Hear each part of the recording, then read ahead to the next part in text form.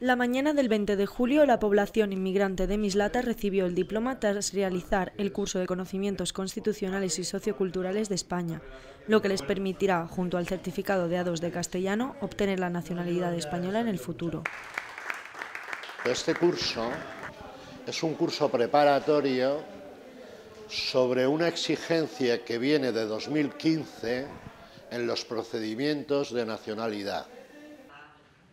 Como en 2015 el anterior gobierno modificó los requisitos para obtener la nacionalidad española, el Ayuntamiento de Mislata quiso dar facilidades a la población inmigrante.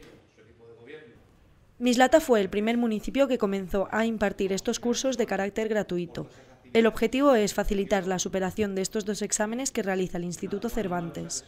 Entre otras cosas, tienen que aportar el acto de dos exámenes que gestiona el Instituto Cervantes, la inscripción, la matrícula, la inscripción, los centros de exámenes y las pruebas. Las dos pruebas son castellano A2, nivel A2 y CCS. El curso de conocimientos constitucionales y socioculturales, también conocido como CCSSE, está dividido en cuatro partes. Luis Real, el técnico de inmigración, nos cuenta en qué consiste esta prueba.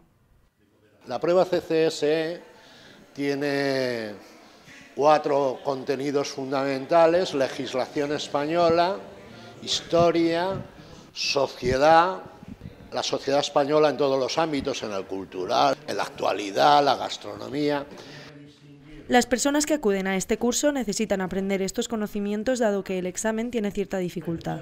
De esta forma se les pretende dar unas pautas para la correcta realización del examen.